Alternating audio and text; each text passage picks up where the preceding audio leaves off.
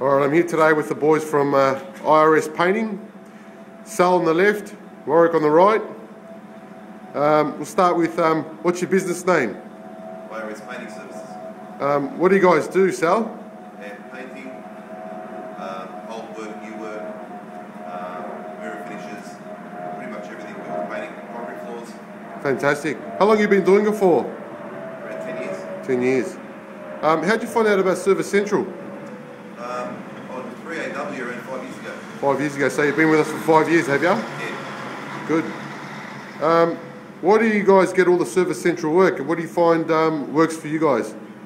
Probably quality, price, uh, probably our customer service as well. Yeah, so um, so they like your uh, pricing. Your pricing is pretty competitive. Yeah, definitely, definitely. Good, good. Um, have you guys hired more staff since you've uh, joined Service Central? Yeah.